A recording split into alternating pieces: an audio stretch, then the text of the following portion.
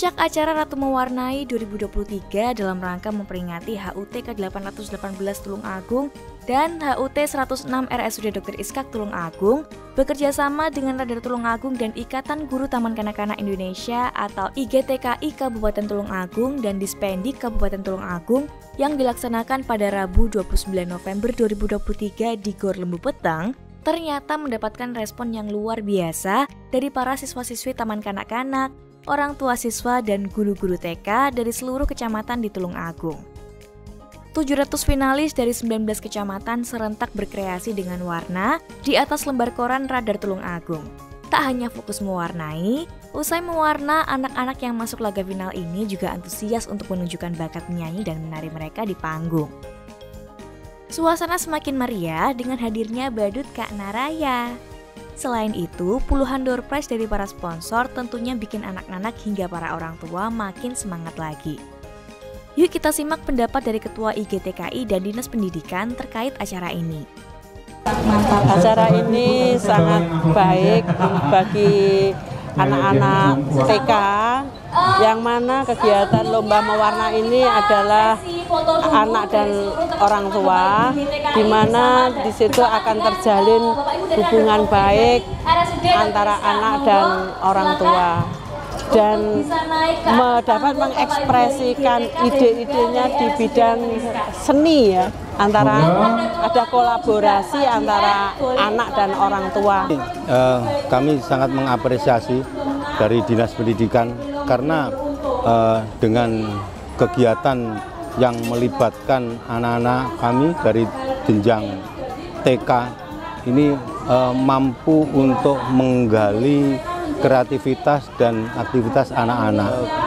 Saya ucapkan terima kasih pada eh, teman-teman uh, yang ada di radar uh, Tolong Agung uh, untuk bekerja sama dengan kami dengan Himpaudi uh, untuk menyelenggarakan kegiatan ini.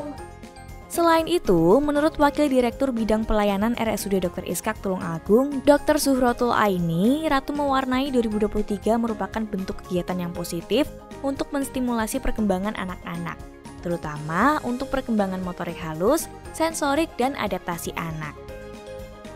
Lomba mewarnai ini merupakan bentuk kegiatan yang positif untuk menstimulasi perkembangan anak-anak. Jadi dengan mewarnai itu melatih anak-anak untuk perkembangan motorik baik itu motorik eh, terutama motorik halusnya, kemudian juga ke sensoriknya dan eh, adaptasinya. Selain itu dari apa namanya eh, motivasi stimulasi-stimulasi itu nanti membentuk anak menjadi mendapatkan tumbuh kembang yang baik sehingga menyiapkan mereka menjadi generasi-generasi yang uh, cakap dan tentu saja yang ber, akan berguna untuk perkembangan uh, kabupaten pada umumnya dan nanti menjadi generasi uh, unggul untuk bangsa Indonesia.